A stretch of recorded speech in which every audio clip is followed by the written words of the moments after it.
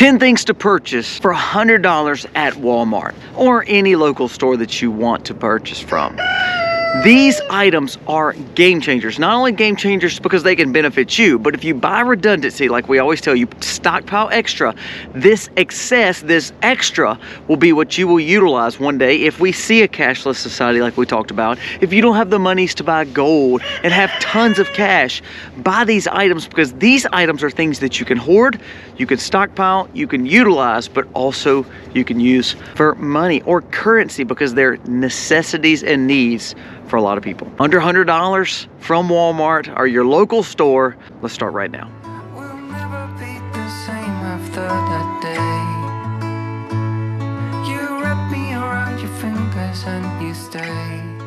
Hey guys, welcome to the Mac's. Thank you so much for being here today.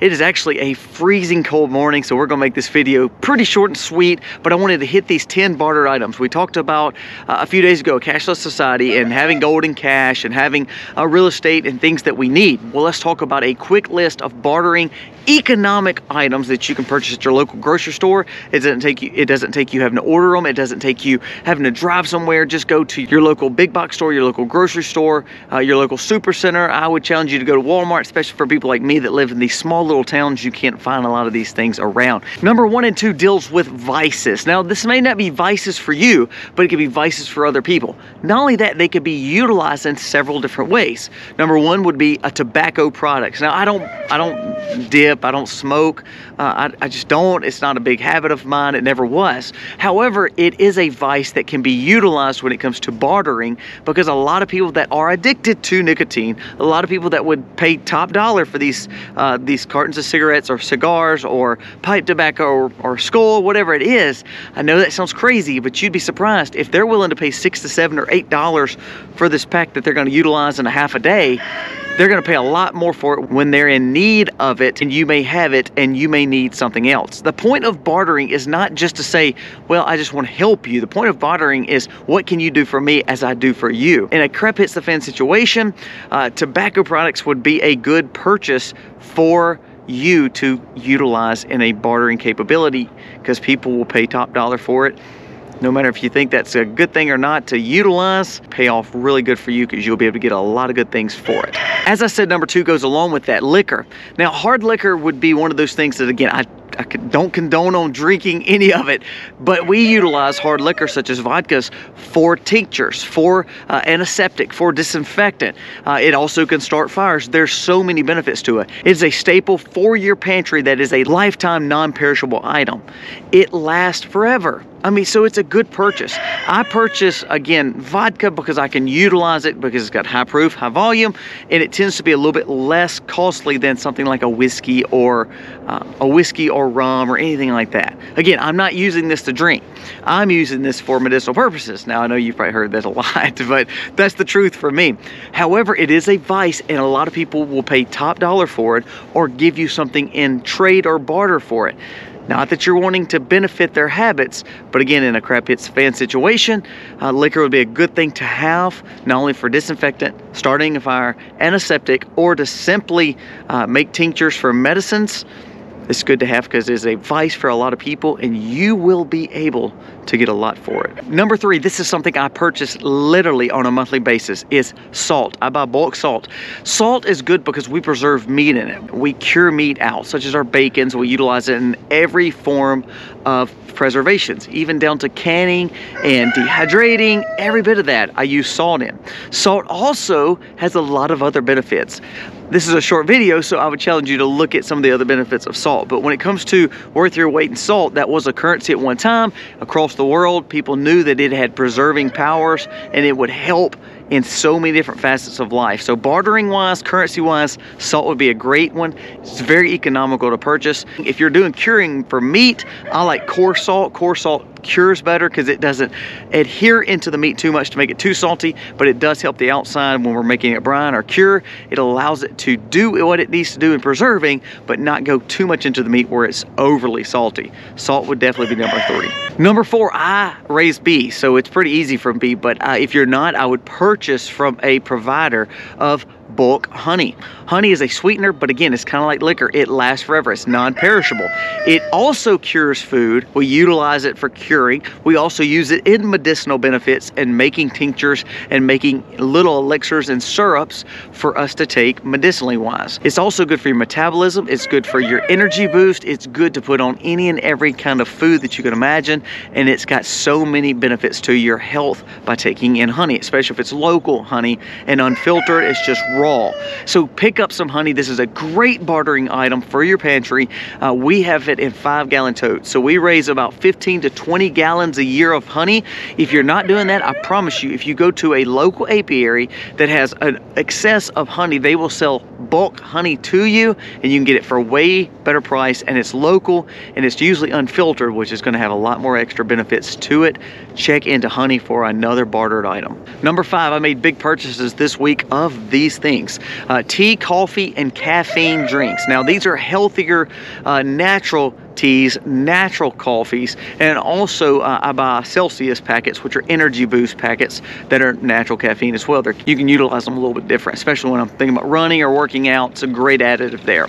But I purchased these because these are good caffeine additives. If someone is used to taking in caffeine on a daily basis and all of a sudden it's not there, they don't have the funds to buy that, but they have other goods, they would do a lot to have that coffee, that tea, or that caffeinated drink. I don't challenge you to buy Cokes and soft drinks and all that. That's that's not what I would challenge you to buy. But I'd buy powdered versions of uh, I'd buy powdered versions of energy drinks because they last a long time on pantry shelves, as long as they're natural. And then look at coffee and tea and putting it up for a long time stockpile.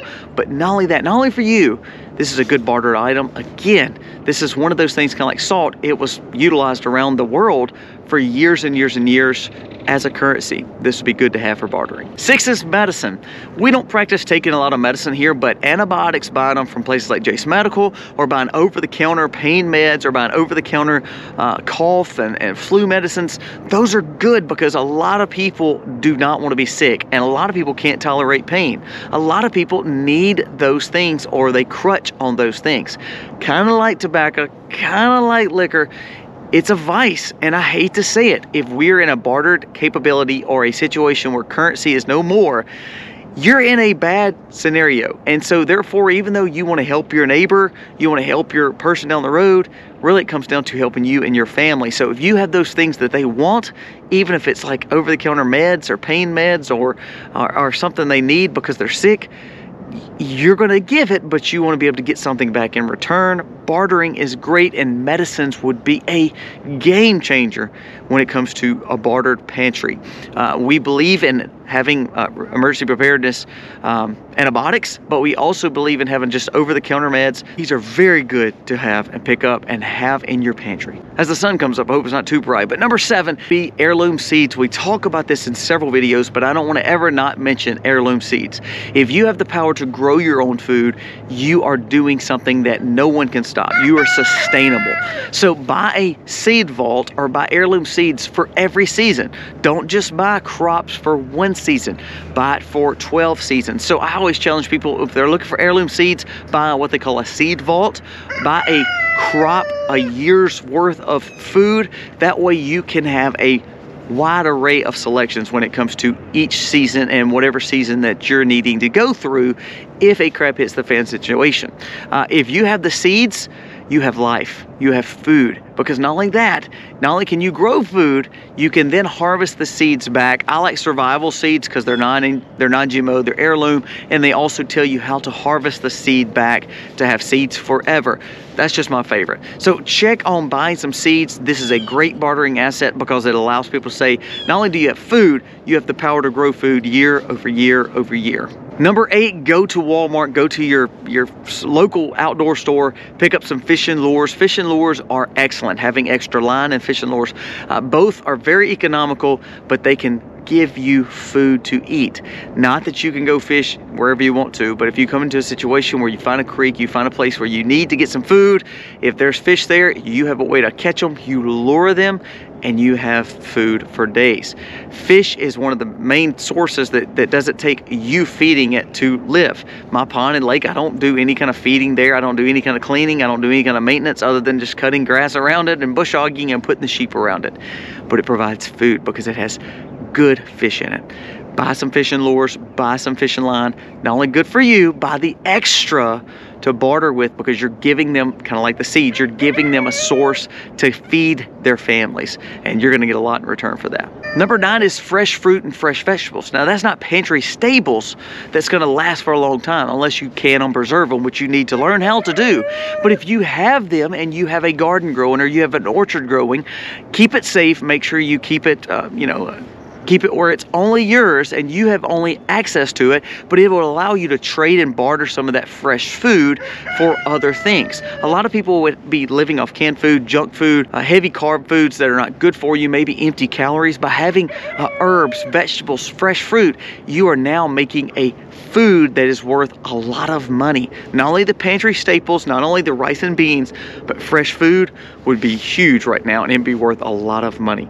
And number 10, well, of course, would be the most important because you got to defend all this, and it would be, uh, I would say, 2A brass. Now, if you understand what I'm saying, I cannot say a lot of things because I've already been pretty held down on this platform, but make sure you are taking care of it by defending it with what you have to utilize, such as little projectiles, if you know what I mean. That is something you can purchase anywhere and everywhere and they're going to be banned before long because they're already go up in price. They're already causing problems across the states. People are trying to get rid of them trying to get rid of the things that let them go if you understand what i'm saying. It's important. So pick that up because not only do you have it for your sake if you have hunting versions of it and you can barter that. Again, make sure you are trustworthy with who you're bartering that kind of stuff to. You could get just about any and everything that you could possibly want because it's worth gold when it comes down to it. Having self-defense and having ways to uh, bring in harvest is a big deal. I would not barter for this at first, but that's why I made this the last number. This would be something I would stockpile and hoard. But if worse comes to worse and I got to treat somebody in my family or I got to have food or I got to have survival needs, having brass 2A or having little projectiles would be huge. These things you could pick up usually for about $100 or less. You could buy all these 10. These are great purchases. Utilize this list because some things may not benefit you, but others may, and then you can elaborate on those numbers. Everybody in the world needs these 10 things, not because uh, they're living the same life you are, and they may not need them the same way you need them, but there's things that you can use on this list for medicine, for health, for healing, for food, for needs for food, for defending food. It's all things that can provide for you. But not only that, it can provide for someone else and it becomes a true bartering currency when there is no money. Buy these things because they're going to be worth their weight in gold when it comes down to it. I don't want to not have these things. And when people talk about, well, I don't know what to do. Do I stockpile cash? Do I stockpile gold? Do I put all my money in Bitcoin? No, I say you could spread it out. But really when it comes down to it, these things are going to be worth more than any dollar bill or any gold because you can actually utilize them for food and to save your family. Guys, thank you for watching. God bless. Happy homestead, y'all.